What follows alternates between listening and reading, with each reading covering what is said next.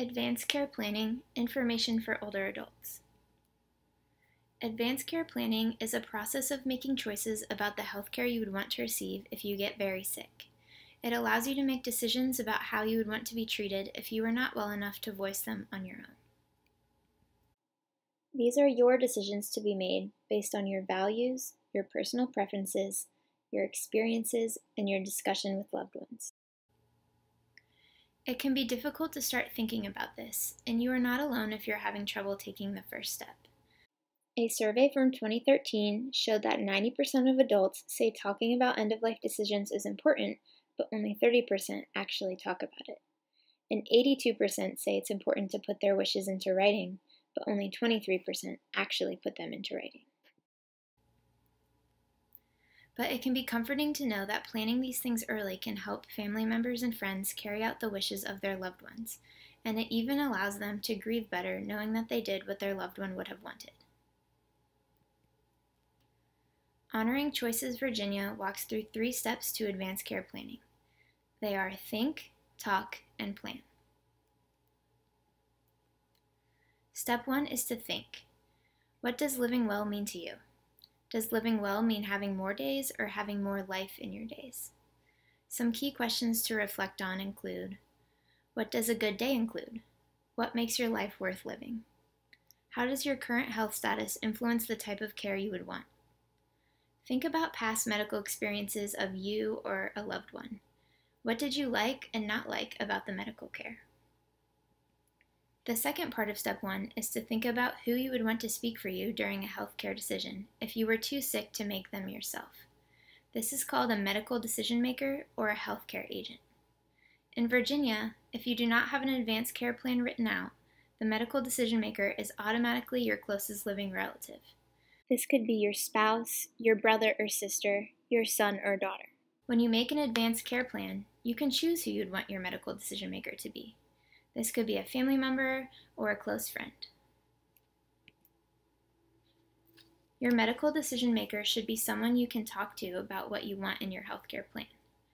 It should be someone that you can trust to carry out your wishes, even if they do not have the same wishes for themselves.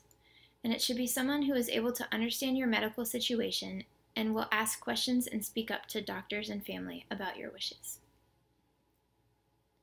They can make decisions including agreeing to, saying no to, stopping, or choosing the doctors, nurses, and social workers that work with you, which hospitals, clinics, or nursing homes you will stay at, medications, tests, treatments, life support treatments including breathing machines, CPR, dialysis, feeding tube, blood transfusions, and surgery, and end of life care, which could include calling in a spiritual leader or deciding if the home or the hospital is a better place for end of life care.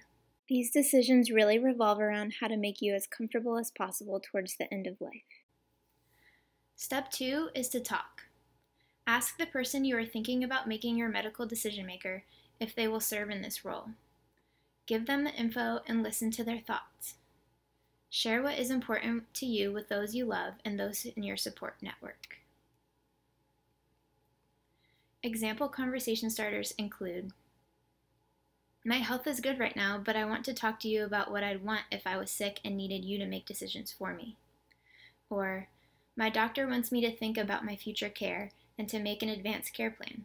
Will you help me? Step three is to plan. Put your choices into writing so your family, friends, and doctors know your choices regarding your health care. The legal form to be filled out is called an advance medical directive. There are three major parts of an advance medical directive. They include naming your medical decision maker, making healthcare choices for certain situations. This can include which treatments you would want or which ones you would not want, what sort of life support preferences you have, and any decisions about end of life care. And the last part of the form is a signature. In the state of Virginia, you need two witnesses present while you are signing the form in order to make it valid. These two witnesses cannot include the person that you choose as your medical decision maker. Make sure your document is stored in an accessible place. You may also want to share copies of your advanced medical directive with your medical decision maker, your loved ones, your primary care physician, and even the hospital of your choice. Revisit your advanced medical directive often. Nothing is set in stone, so if you change your mind about your choices for your medical care, you can change this on your document. Getting started can be the most difficult part, but remember that you don't have to have all your decisions made in order to get started. Just by beginning to think about your advanced care plan is a great first step.